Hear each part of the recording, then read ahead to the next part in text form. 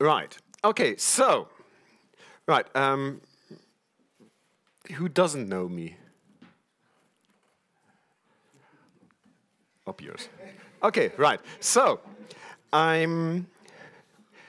This is more like designed to be a discussion round, and because I'm actually not sure how to go about this problem myself. So the problem here is that I want to virtualize NVMe. As you might or might not know, NVMe is a nice protocol, a storage protocol, which is designed to be the um, this 6R, which is destined or supposedly destined to be the successor of the SCSI protocol. Well, that's the aim there, right? At this time, it is a competing protocol, and it's just trying to find its feet, so so to speak. Um, so it is a nice protocol and highly parallelized and everything. But eventually, we want to have this, the protocol and or the drivers also in a, in a virtual guest. So while there is a normal, um, while there is already a, there's a, a, virtualization already available, meaning or not rather virtualization, an emulation available. This is a complete emulation, so basically it does the entire thing from scratch, and it's not really virtualization as such. So the thing is, before I go into that, um, there's some crucial things to uh, um, to mention. The one is that there's NVMe and that there's NVMe over fabrics. NVMe is the local ones, which you have in any modern laptop, which is basically a PCI interface and um, defines the entire device on a PCI level. So the entire spec is defined in the PCI level and everything is geared around that. So this is roughly compatible to the HCI spec uh, like you have on SATA. And actually that was, anyway, the original name of it was NVMe HCI, but doesn't matter. So, um, but eventually people came to realize that the NVMe protocol itself might be worthwhile having on a global level and that it might be a usable protocol even for general storage uh, stor uh, uh, um, well for general storage transfer. So there uh, an extension was created called NVMe over fabrics which is um, just the the origin NV, uh, the origin NVMe spec minus the PCI bits and abstracted thing abstracted away so that you can run it across different transports which are in the, at this time um, RDMA, fiber channel, and TCP. So, and the task now is, this NVMe of fabrics is um, obviously a normal driver, like a normal. Something went on with the mic here. Is it me or someone else? Because I think Yeah? So is, is it not better now? I don't know. So it, is it is it okay with the mic? Right, okay, good, fine. So it's just me. So, and NVMe Fabrics is nice and everything, and can be deployed on large installations. I have a NetApp nowadays which can talk NVMe fabrics and um, well, several net NetApps actually. So this is the protocol you want to use or which will be used for larger deployments or for storage array or enterprise, enterprise class systems. Now the challenge here is how do I get these devices presented by NVMe fabrics into a virtual guest? So this is how a QEMU flow, flow looks nowadays. Ah, that's my, okay. So we have the hardware here, a device driver talking to the hardware,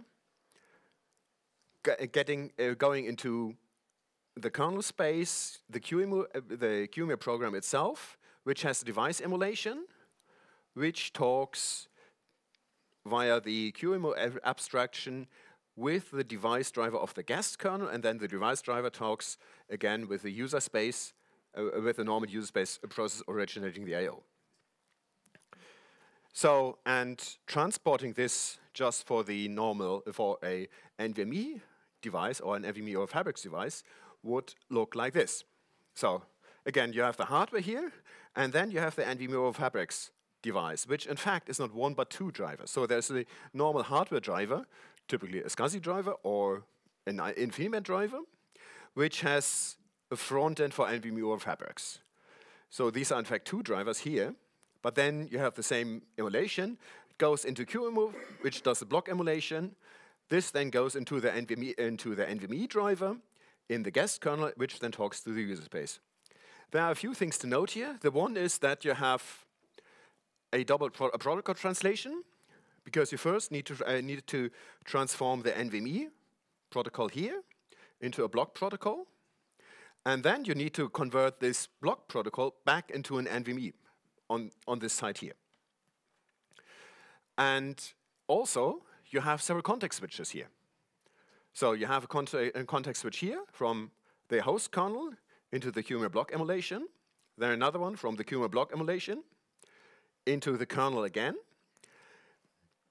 um, into, into the guest kernel, and another one from the guest kernel into guest user space. So quite a, uh, quite a lot of con context switches involved, which obviously also costs time. So, and now the problem is, how do I virtualize this whole thing efficiently? Of course, I could just go with that, but that not really is not really virtualized. This is a complete emulation. So it doesn't really matter whether this is NVMe or not NVMe. It could be anything, really, because it would be abstracted away by the block emulation. Yes? Just, just to, to thing. So just more uh, uh, information maybe here. So you're talking about virtualizing a namespace or yes. the entire device? Because there's still a possibility of direct attaching your PCI device. We're coming to this. Surprising, surprise, surprise. I have okay. more than one slide. But at this level, we're talking namespace virtualization, right? At this level, it would be namespaces, yes. Okay.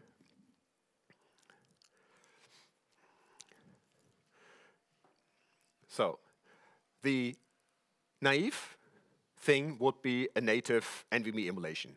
So, just emulate the LLD driver in QEMU, and then you have the LLD driver here in the guest, and you can run it here. Just do this. Only this in LLD, and that is a horrible complex beast. It's not something you would e emulate lightly. I mean, we are speaking of drivers which consist of literally 100,000 of lines of code. And no, you might want to do lots of things, but emulating this one is probably not something you would like to attempt. So while the approach is very, is very simple, the implementation is far from it. So the other possibility would be using NVMe over TCP, because that is just a TCP protocol, and as such, you could just use normal network drivers. So you wouldn't need to modify anything in the QEMU stack, that it would just work at this, and the NVMe over TCP driver here would also work. And so, and this actually works even nowadays, even with um, SP1. So we um, put everything in there that you could do it with SP1. Problem, of course, is that it will be NVMe over TCP. So it wouldn't help you at all if you have a nice NetApp array if it doesn't speak NVMe over TCP. And rest assured, it doesn't. So yes, it does virtualize after a fashion. Well, actually, it doesn't virtualize. It just makes an NVMe uh, pass-through, but doesn't really solve the general case. Also not so quite what one was looking for. So, the other thing is there's something called MDev in QEMU, called, uh, for short for me a mediated device, which is, well, some sort of slimline drivers on, to on top of others, which you could use, uh, which, you, which might help the case here. So what they actually do is they have, they do an emulation of the protocol and then a slimline driver only interpreti uh, interpreting parts of the whole thing. So that's what they're using for, um, for GPIO pass-through. If Liang is here, he would know. Um, ah, there he is. So basically that's what they're using, for um, GPU pass-through. But then this also needs some hardware interaction because in the end, you still have to talk to the hardware down here or to the driver down here. So it still needs some sort of hardware interaction. And well, at this time, obviously there's none. Yes. Why do you emulate NVMe OF driver in uh, in QEMU here? Your OF driver is going to give you an NVMe target, so you can just have MDev on top of that and have a simple NVMe emulation in QEMU or driver in QEMU.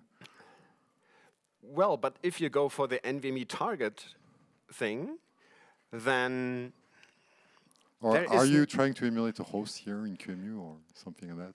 so um, no. What I'm trying to do here is um, no, is have an efficient emula- emulation. What I'm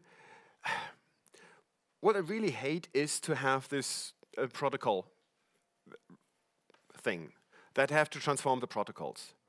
Because as soon as I have to transform the protocols, I can as well stay here. There is no, no big difference, really, whether I try to transform from protocol A to protocol B or from protocol A to protocol C. It doesn't really matter, really.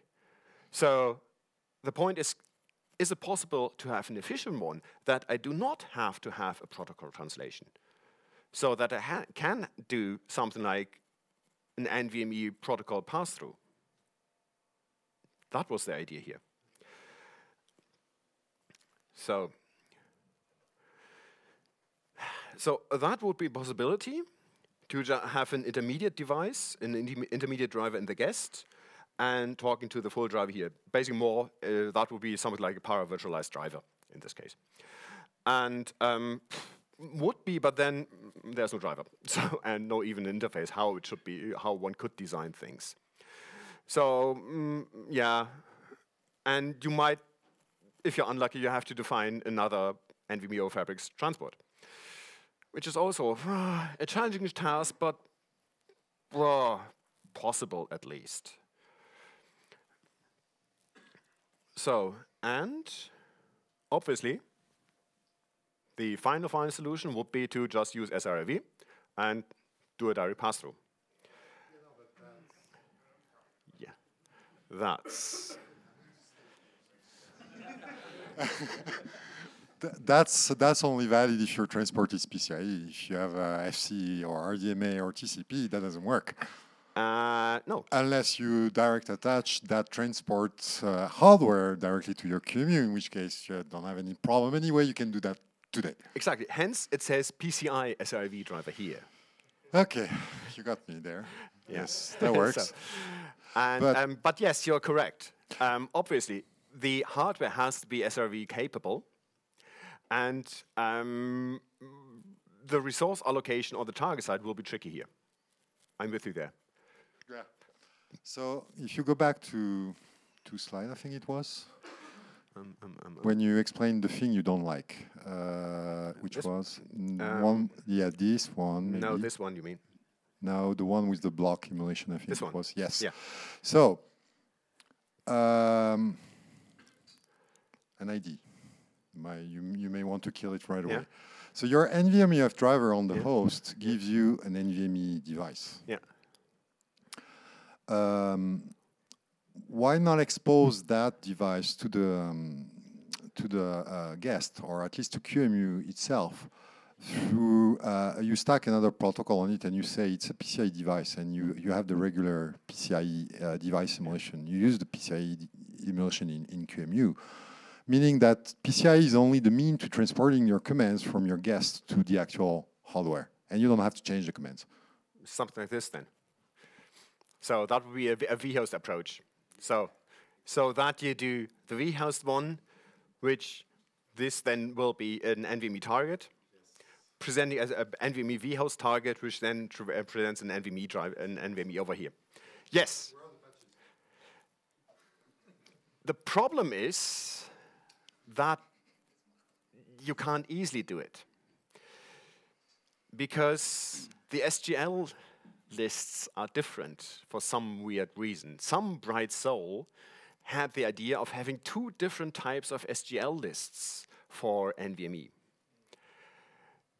And the PCI one is using the first one, which is the PRPs, and the Fabrics one is using the second one, which is the actual SGI, SGL lists. And neither of these formats are mandatory for the other one. So while you could the chances are that you are running in some undefined state are pretty high.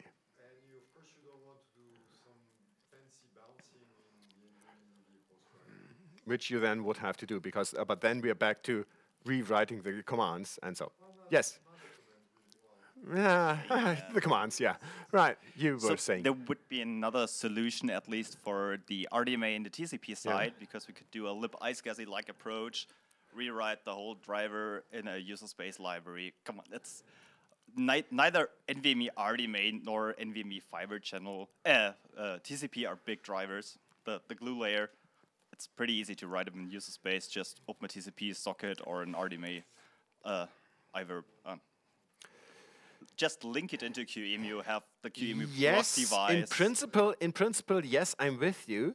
But then i am not quite sure how good the hardware is with address translation. Because that's the actual question i wanted to pose to the audience here provided there's someone uh, capable of answering that one. Any IO I do here or I format here, out of necessity, will have been formatted in the memory out, uh, layout of the KVM user space process here.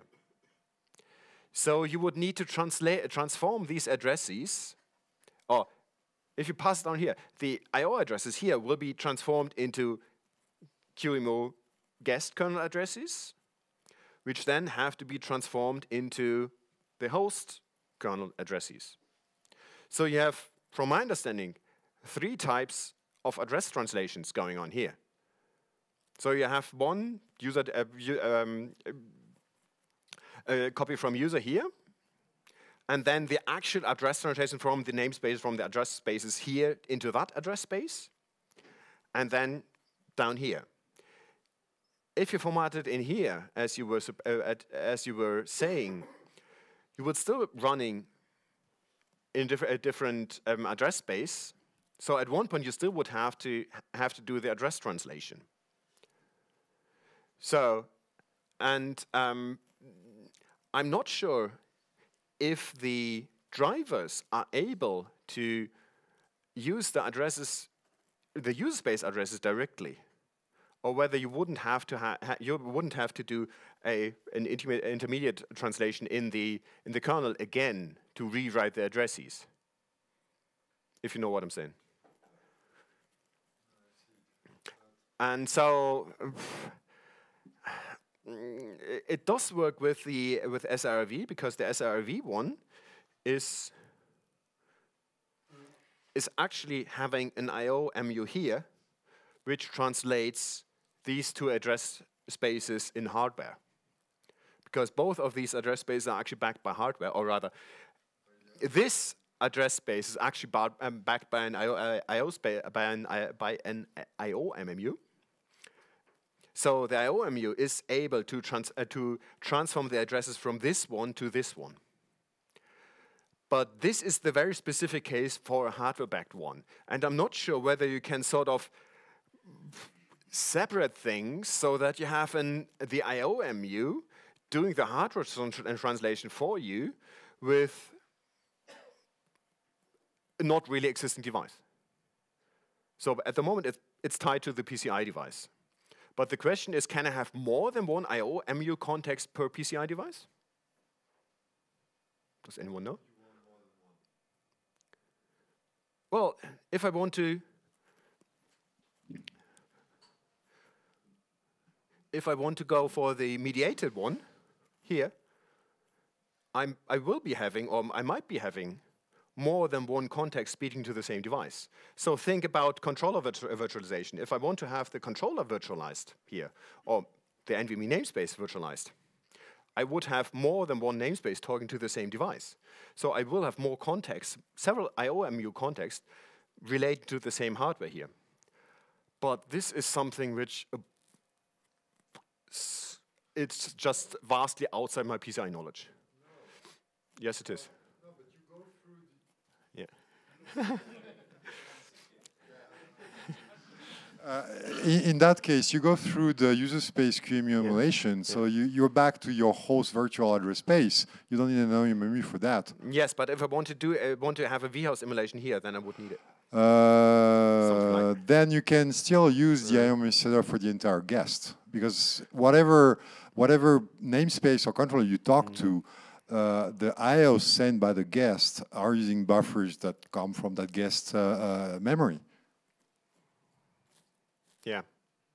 So I don't think it's really strongly necessary. Well, okay, if you want to isolate your devices and mm. because of one has a crazy DMA engine and it's buggy and DMAing in weird places, okay, that may be needed. But if it's just for the translation, you may be able to go with just a global one for for your guest. Yeah, sure. Yeah, of course, yeah. and KVM actually has the the the virtual the guest physical to uh, host uh, whatever the name mm. mapping yeah. anyway. So I'm pretty sure you can even use that, even okay. if you don't want to use the IOMMU. Yeah. Okay. Yeah. Good Maybe something workable there. Uh, could could have a look. Yeah. Could try. So because that is then the what he what um, Damien already said. So that was the a slightly different approach using the vhost one, which um, doesn't necessarily help with the protocol translation, but it does help with the context switches. Because you avoid the context switch, uh, switches going into user going into the QEMU user space here and back. So you actually um, get rid of two context switches. And the question, uh, uh, yeah, again, is that um, it's not quite clear to me which is more expensive, the protocol translation or the context switches. So vhost already exists for SCSI. Yeah. Did you have a look there? Any hint? Because in the end, if it's just changing the comment format, might not be that Yeah. Hard. So the impression um, impression I got is that it might be that the context switches are more expensive as the protocol translation. And I mean, this is the whole um, premise of the whole of the vhost stuff. That in the end you don't really care um, what you uh, how uh, big the latency is for setting up the program uh, the I/O.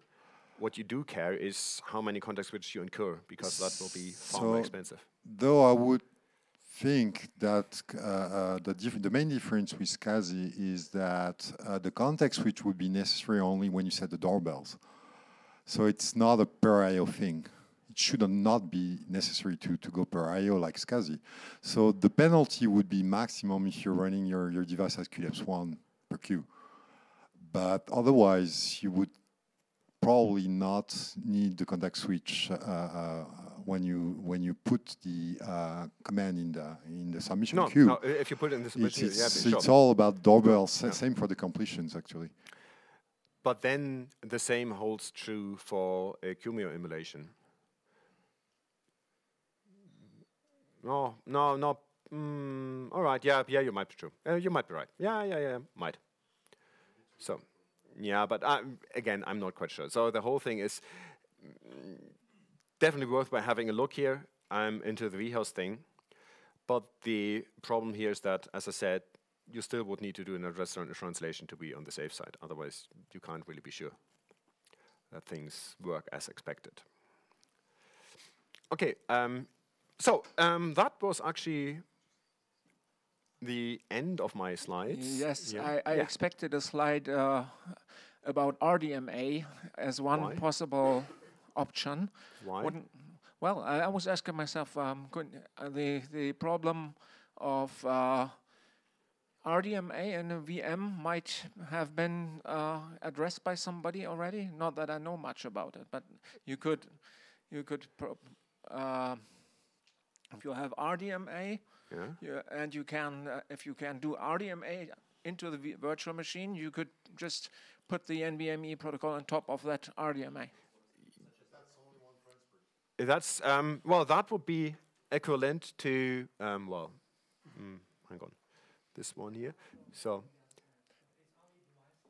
so exactly. So this would be more or less equivalent to that one, to the TCP one.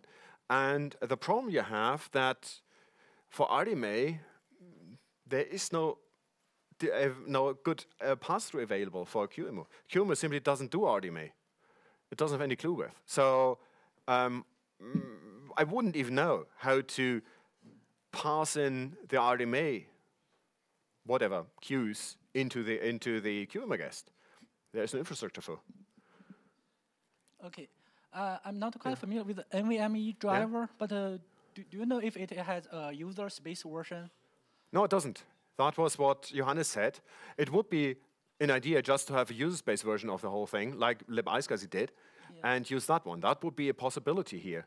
But then it doesn't exist at this time, so one would have to write it.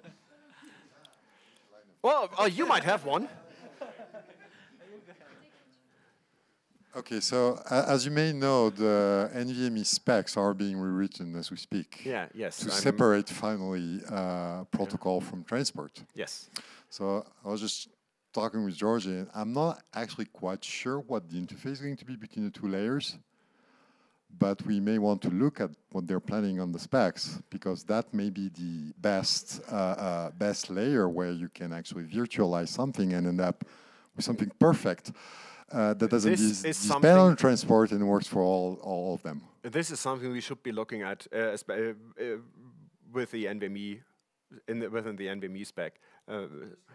Talk to Chris. Yeah, I will be. In two weeks' time, I will be doing. Um, so to, to address this, because this I found, uh, frankly, a bit disappointing. I would have thought that if someone designs a new protocol, it should be relatively easy to virtualize, but then it turns out, no, it isn't. And so, mm, well, yeah. Okay, anything else?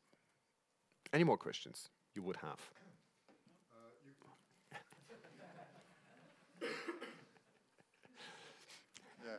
Uh, on a light note, you could use Intel Trick and put NVMe over HCI. Ah, yes, I possibly could. Bah. Bah. Yeah, no, no, I don't want to. Yes. May I add two, two things about, uh, so re regarding this, for example, possibility too, you can add uh, also uh, RDMA. Uh, How? That's the soft RoCE. I, I played with that and uh, This it's- soft RoCE is not RDMA, but is rather an RDMA driver over network. yeah, yeah, so you, you can put. uh, So, you um, this, uh, but the soft RoCE is no difference to that one. That will be the same, the very same layout here. It's just that the NVMe over THCP drive would now be actually two things. Um, namely, you would have the soft RoCE here, and then the NVMe over RDMA on top of the soft RoCE one. The r- remaining thing would be exactly the same. that's, that's And you still would need to have, and the big problem with the soft row is, where do I talk to? What's on the other side? How can I pass out the RoCE frames here to where? So you, Exactly. you, you build just uh, the, the soft, ro- soft rocking network, and uh, through the Ethernet, that's the, just the normal. Mm, Yes, the So biggest problem with that one is that at this time there are no targets for uh, for RoCE, for uh, NVMe over RDMA with network things. All uh, NVMe RDMA ones are running on InfiniBand. SLES is. SLES is a target for NVMe Yes, over yes, you could. Yeah, yeah, I, I, I, I don't understand. That, that's that's completely not a problem. So you you will use just the normal uh, RDMA, uh, the verbs uh, Yeah. uh, inside inside NVMe inside guest, and uh, that will go to the soft rock and uh, through the Ethernet card or just the emulation of the Ethernet card. Then uh, you are done. The soft RoCE is a complete emulation. It doesn't need any hardware uh, any hardware support. Yeah, so but this would be yeah, so that would be but then I could as well use NVMe over TCP. So it's it's not conceptually it's not different.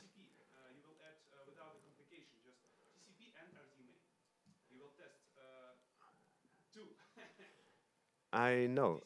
Yeah. So, but um, for but this, uh, so my point is that this is whether I use NVMe over TCP or RDMA and SoftRoCE here doesn't change the layout of this picture. Would be the remaining bits would be just identical, right? Right. Okay. Is this? Yeah. It would be a network driver, wouldn't it? no, you you will test uh, the part of the NVMe which is responsible for RDMA part, right? Yes, So of course. That, that that is your goal, right? To test more Mm, no. protocols. No.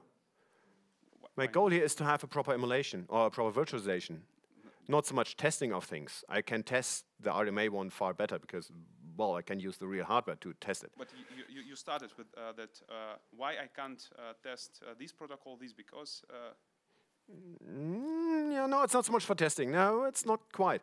But the um, to put uh, put your things on the head, what I would like to do, uh, what I would like to have for RDMA, would be a real RDMA interface here in QEMU.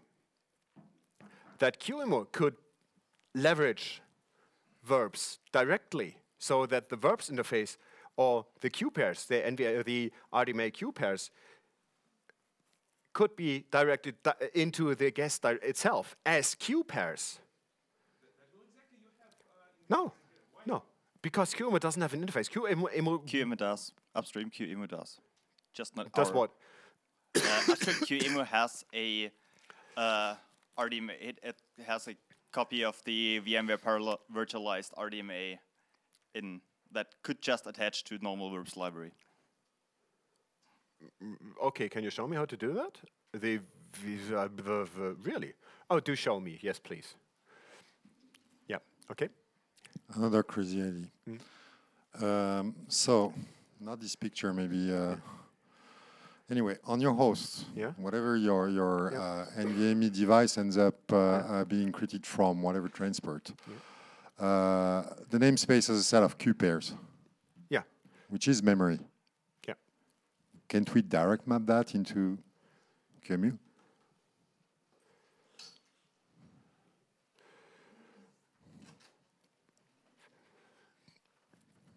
You could map them into QEMU, but then you wouldn't have an instance doing the address translation for you.